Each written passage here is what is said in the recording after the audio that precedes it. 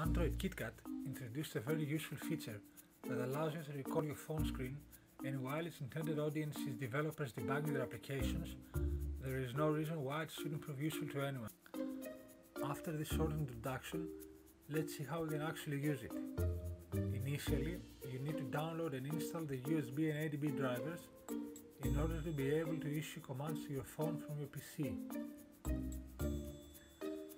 Once you're done with that, simply launch a command prompt, which in Windows 7 and above you can do so by simply holding down the shift key and right clicking and then type the following commands.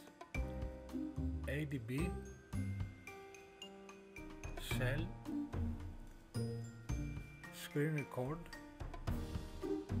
slash sd card slash and then choose a name for your video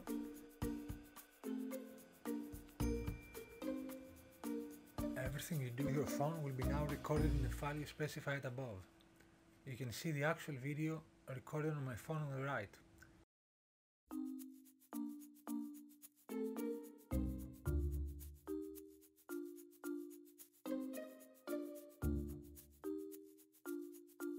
Once you're done, you can stop recording by hitting Ctrl and C.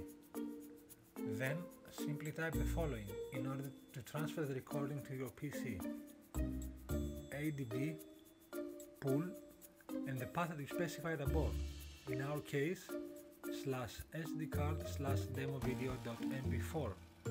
And that's it. With just two commands, you are able to initiate a recording and then transfer it to your PC.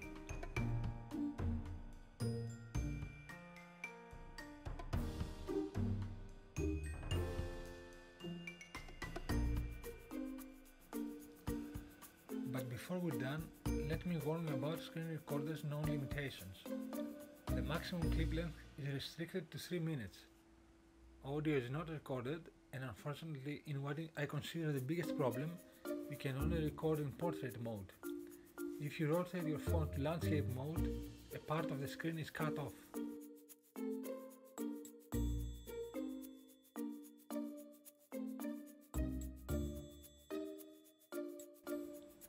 Okay, thanks for watching. I hope you enjoyed this video and like and subscribe if you did.